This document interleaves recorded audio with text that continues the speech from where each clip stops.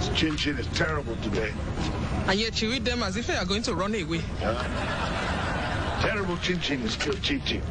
I see you are enjoying my daughter's cooking, Uncle. Oh, yes. Like they were made with God's fingers. Great service, Pastor. Really gave Satan a run for his money.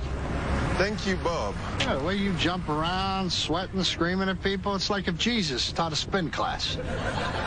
I accept your blasphemous compliment. Now listen, uh, now, can I talk to you for a second? Of course. I don't know if you know, but Abishola and I are engaged. Yes, I am aware of this. Well, technically, she's still married to Tayo Adabambo. And I am also aware of this. well, I guess you only work one day a week. You got plenty of time for gossip. That was a joke. It's, it's a bad joke. Listen, you're from Nigeria. Do you think you could pull any strings over there or over here or yeah, up there? Bob, Colossians chapter 3, verse 18 says, Wives, submit to your husbands as is fitting in the Lord. I appreciate your support, but you've met Abishola. She's not exactly the submitting type. I'm sorry, Bob. I don't think you understand. Abishola belongs with Tayo, her husband. Yeah, well, what do you know? I'm sorry I took so long. Uh, What's going on?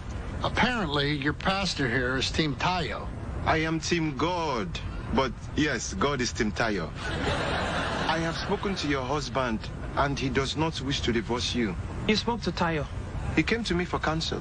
When? Because I tried to call you Thursday and I got sent to a stupid prayer line.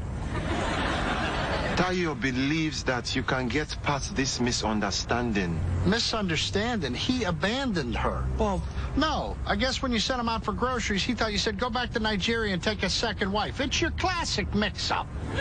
Bob, please. Thank you for taking the time to speak to us. We will see you next Sunday. Yes, of course, Pastor. Goodbye. You're just gonna let him off the hook like that? Oh, he's not off the hook. He will no longer be in my nightly prayers. You are vicious.